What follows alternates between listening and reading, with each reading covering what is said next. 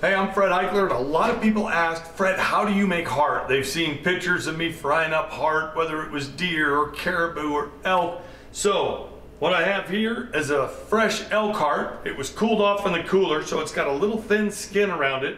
But I'll show you all I do is I slice up the heart. Then if it's been aged a couple days like this one has, I'll trim off the outer edge and then I just roll it in an egg wash then flour, you can season the flour if you want, and then right into some hot oil. So I'll show you how simple it is. I'm using an outdoor edge. This is my butcher blade, and I usually cut them about half an inch thick.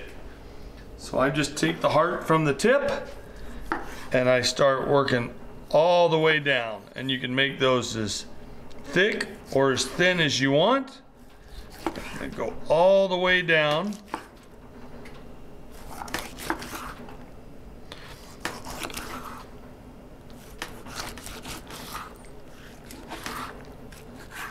Okay, I usually go all the way down to right here. Once I start getting into the fat and the really larger ventricles, I'll shut down right here. Or you can trim a little bit of this meat off on this side. But then what I'll do is I'll take and I'll trim off the outer layer.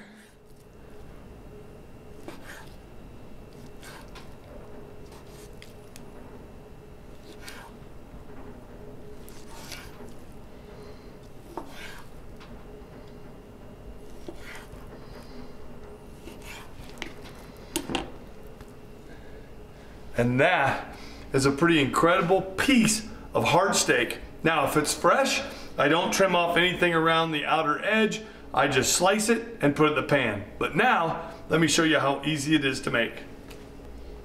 Any kind of oil that you like, I usually put a quarter inch of oil in a pan.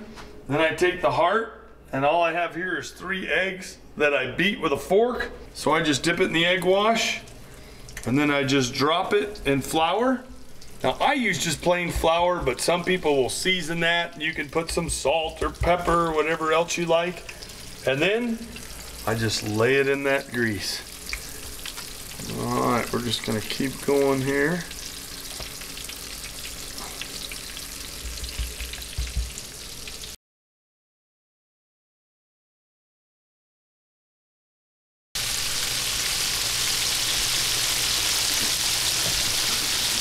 So for me, I cook it at a high heat. I think that helps sear or keep that egg and that flour on there so you get a little bit of that batter. And I cook it for only a few minutes until I start seeing some blood speckles come up on the heart. So we'll give this another minute and then I'll flip it over. So you can see when I start getting a little bit of blood spots where it's cooking through, then I'll go ahead and flip it over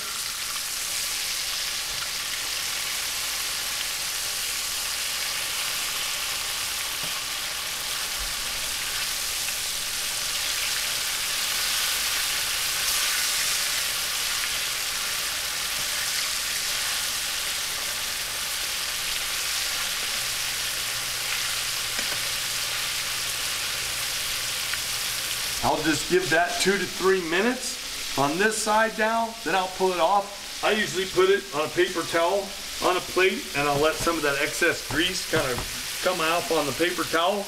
Then I'll pull the paper towel out and then I'll show you how delicious it looks and tastes when it's done.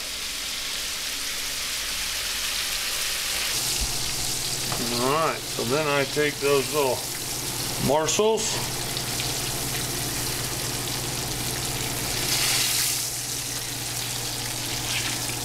I take those delicious morsels and you can see what it looks like. Just a little bit of red in the middle here.